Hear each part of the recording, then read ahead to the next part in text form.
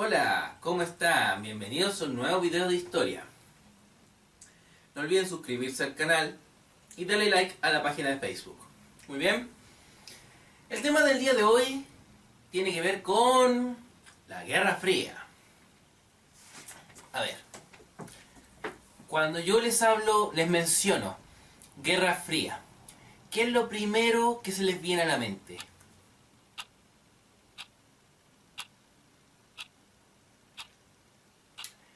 Mira, una de las primeras cosas que uno debería venírsele a la mente cuando habla de la Guerra Fría es esa disputa que había entre Estados Unidos y la Unión Soviética, ¿ya?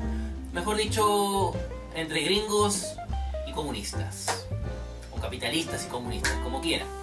Eso es lo primero que se le podría venir a uno a la mente. ¿Por qué? ¿Por qué pasa esto? ¿Cómo se llegó a esto?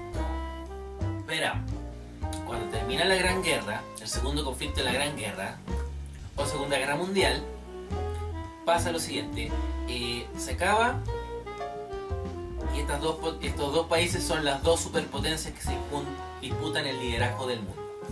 Antes de la Gran Guerra, ese liderazgo se lo peleaban Inglaterra, Francia, bueno, Gran Bretaña, Gran Bretaña, Francia, Alemania, Estados Unidos,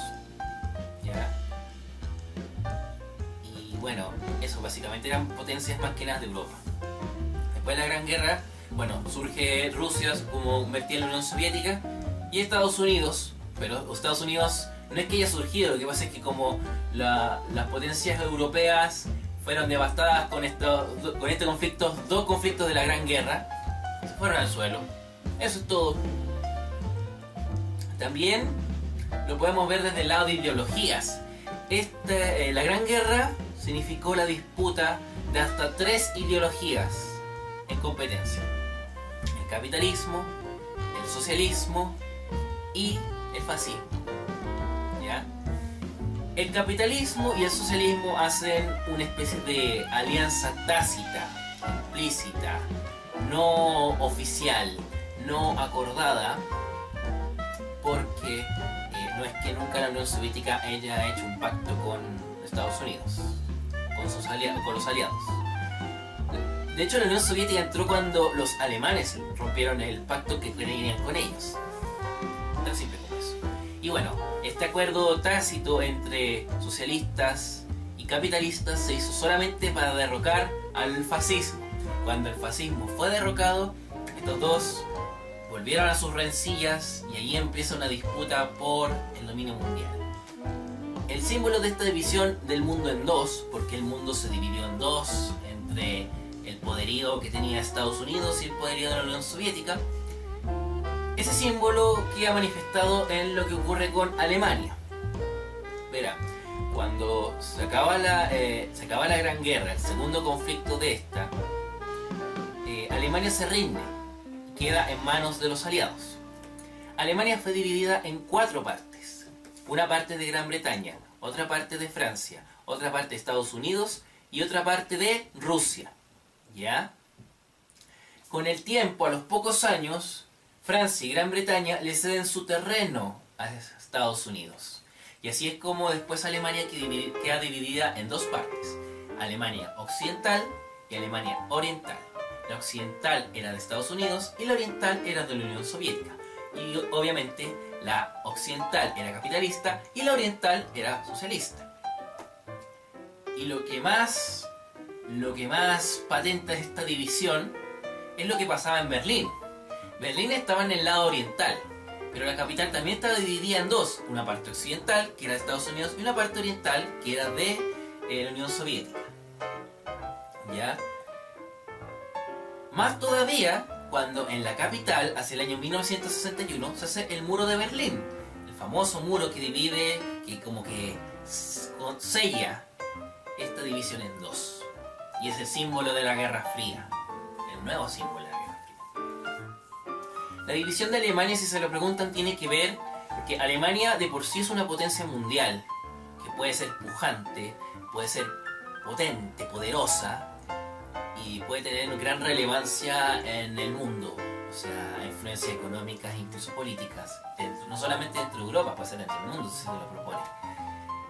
Y la idea era dividirla para debilitar ese poderío, para que rebrotara, resurgiera, con eso eh, volviera a ser una amenaza quizás para los intereses estadounidenses y para los intereses de la Unión Soviética. Como le mencioné antes, el mundo se dividió en dos.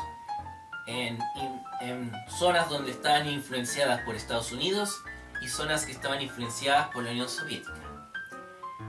Se llama, ahora bueno, y esto tiene que ver porque se llama Guerra Fría.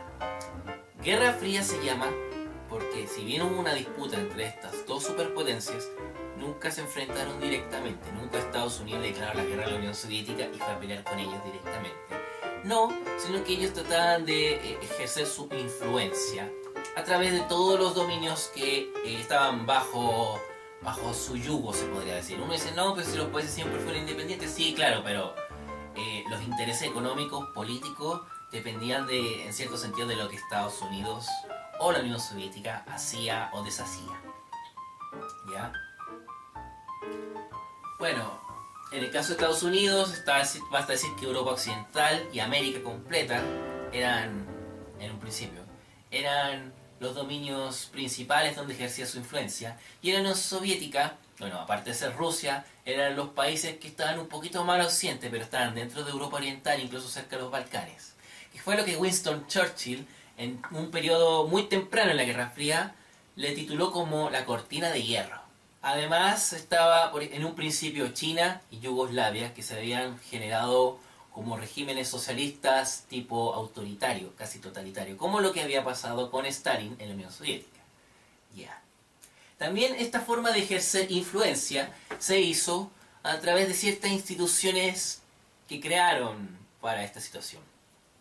Bueno, por el lado de Estados Unidos teníamos la OTAN, OTAN, la NATO, creo que es en inglés, y en el caso de la Unión Soviética teníamos el Pacto de Varsovia. Ese es, por ejemplo, una.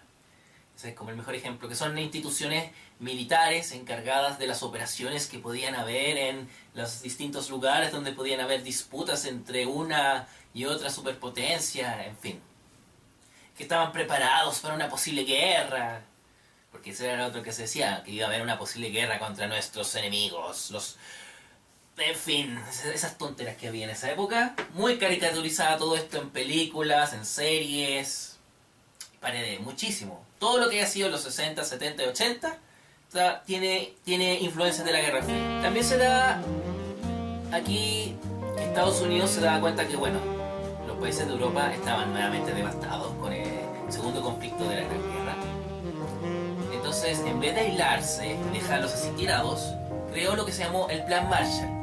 El Plan Marshall fue eh, dineros, fondos para que ellos se pudieran reconstruir rápidamente y bueno, así tener esos aliados, potenciales aliados, en lo que podría evitarse una fácil influencia del socialista y quizá expandirse por casi todo Otra forma de mostrar esta influencia fue a través de la carrera espacial. En los, en los años 50 empezaron todas estas creaciones de astronautas que se subían a transbordadores y que supuestamente iban al espacio y la creación de satélites, ¿ah? satélites que iban en órbita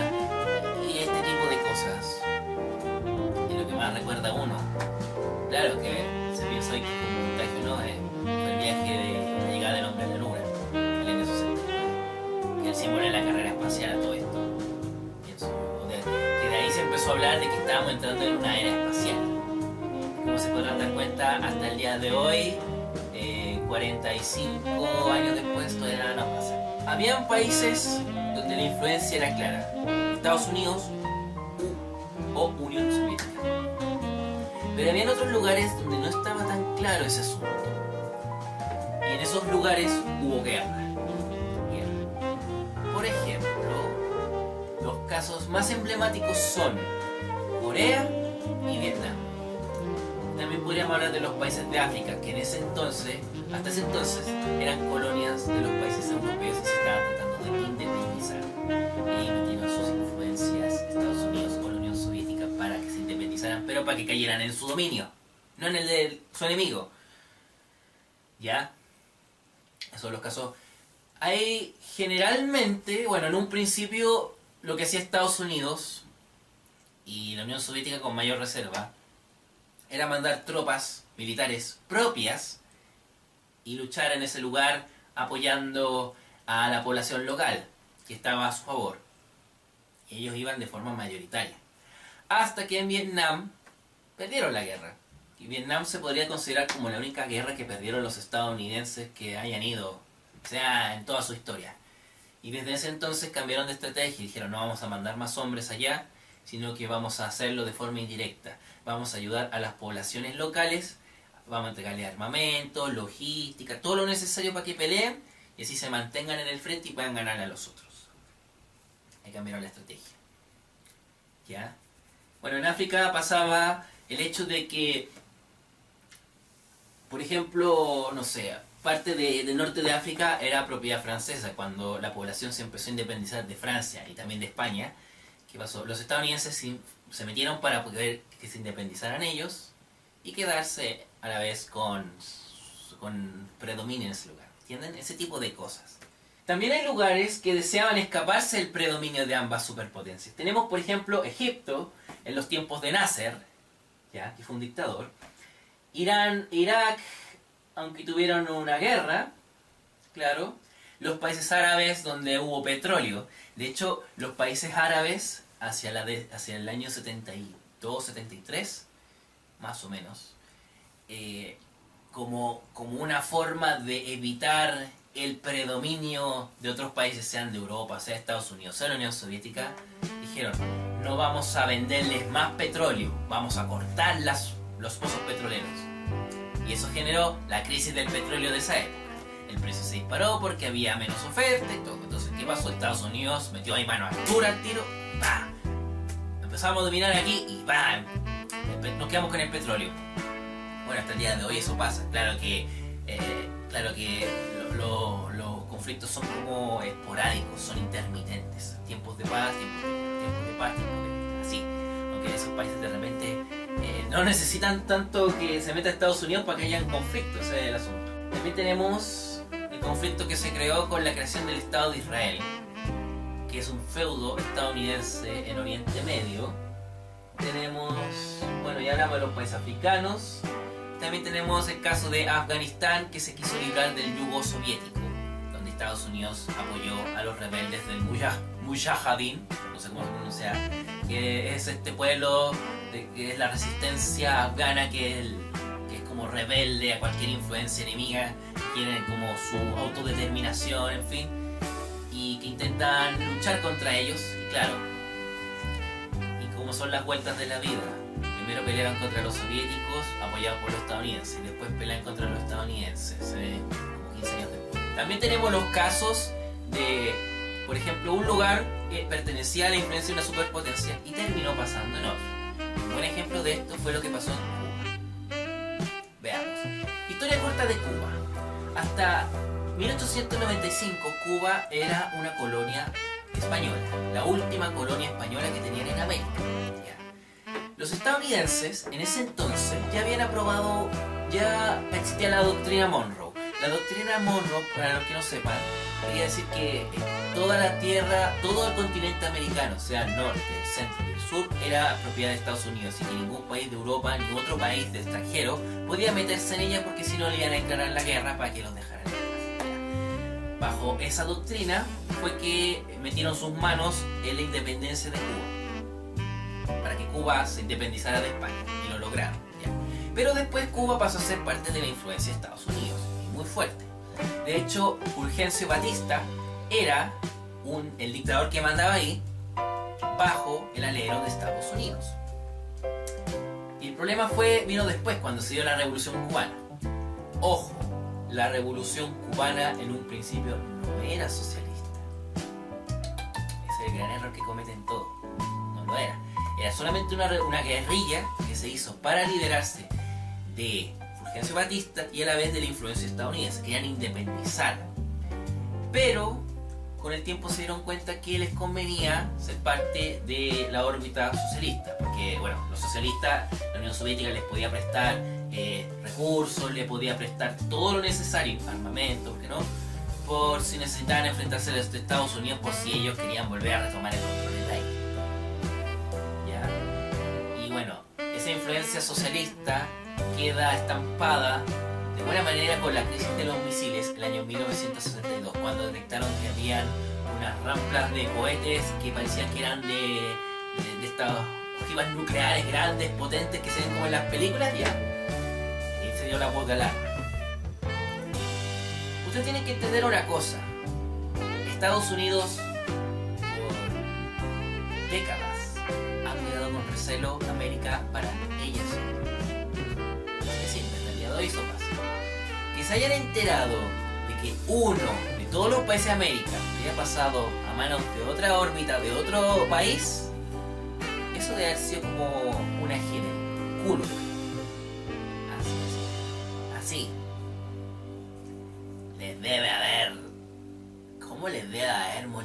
Eso? Les debe haber dolido mucho, muchísimo. Entonces, bueno, eh obviamente cunde un poco esta como paranoia que tienen, un poco el, miedo, el horror y, esta cuestión de infundir miedo de que, de que el socialismo, de que estaba llegando y se iba a llegar y que nos van a atacar y que un día nos van a matar y bueno, eso, de eso también se colgaron para eh, reclutar soldados para Vietnam, en fin. ¿Qué hicieron?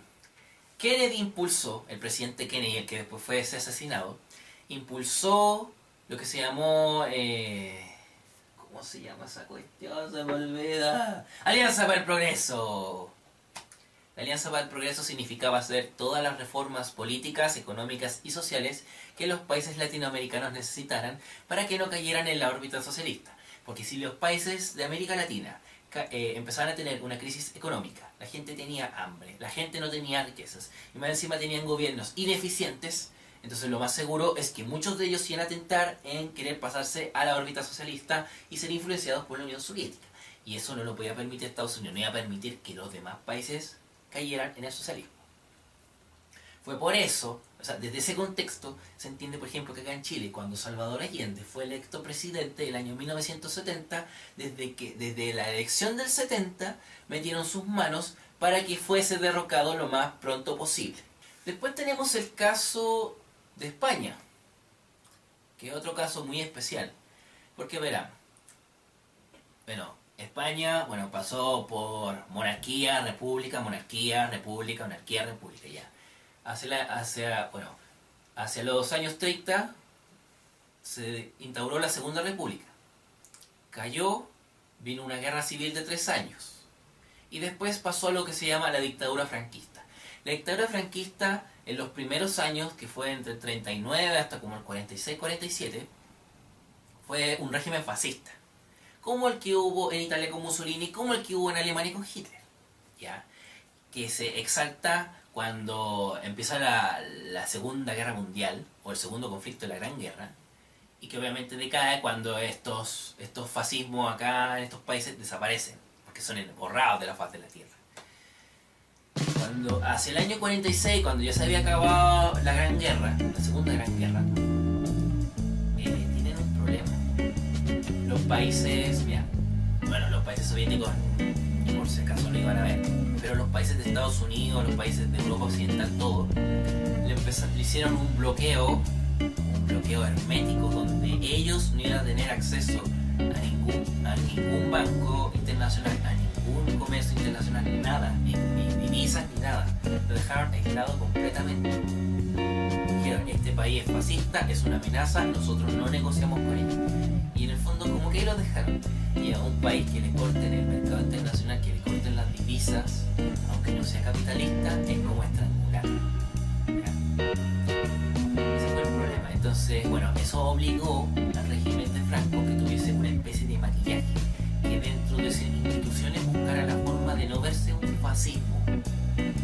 Eso transitaron desde un fascismo hasta una especie de autoritarismo donde la iglesia tuvo mayor primordial. El ejército, o sea, los cargos que eran ocupados por militares pasaron a ser ocupados por civiles que eran eh, niños, familias ricas que venían del Opus Dei, que habían estudiado la universidad, bueno, y otro tipo de cosas, la cual hizo que se acercaran a la órbita capitalista de Estados Unidos. Esto se concreta más todavía en los años 50, cuando el presidente Eisenhower de Estados Unidos los visita a ellos, cuando son aceptados en la ONU en el año 56 y cuando tienen una apertura económica de libre mercado hacia el año 1959. ¿ya? Porque la autarquía que existía hasta ese entonces estaba estrangulando la economía existía una pobreza tan grande que con eso no lo podían solucionar, como por obligaciones.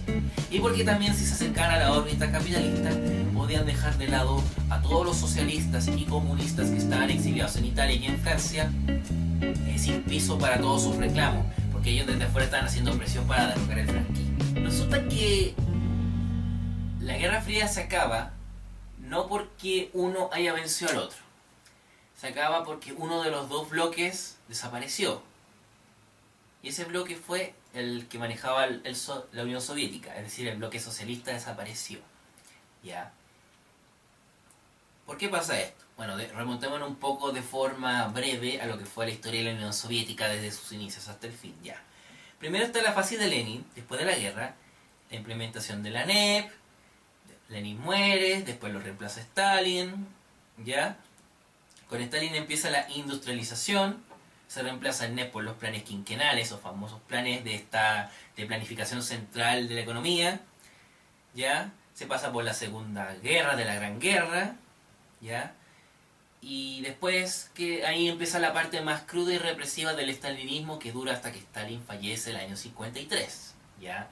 Donde eh, la Unión Soviética tuvo dos momentos de esplendor, de auge que se dio cuando estaba quedando la embarrada con la Gran Depresión y cuando ellos derrotan a los alemanes en Berlín, símbolo de que ganaron la guerra ellos. Muere Stalin, asume Nikita Khrushchev, que desea desmarcarse de lo más autoritario y agresivo del stalinismo. De hecho, revela los crímenes de Stalin, los crímenes que hicieron durante los años de Stalin, hace el año 56. Eso hace que, por ejemplo, el régimen comunista y el de Yugoslavia se desmarcaran de la Unión Soviética y implantaran su propia forma de hacer eh, comunismo en donde estaba, ¿ya? Y en Europa, bueno, se empezó a abrazar lo que se llamó el eurocomunismo, para que sea.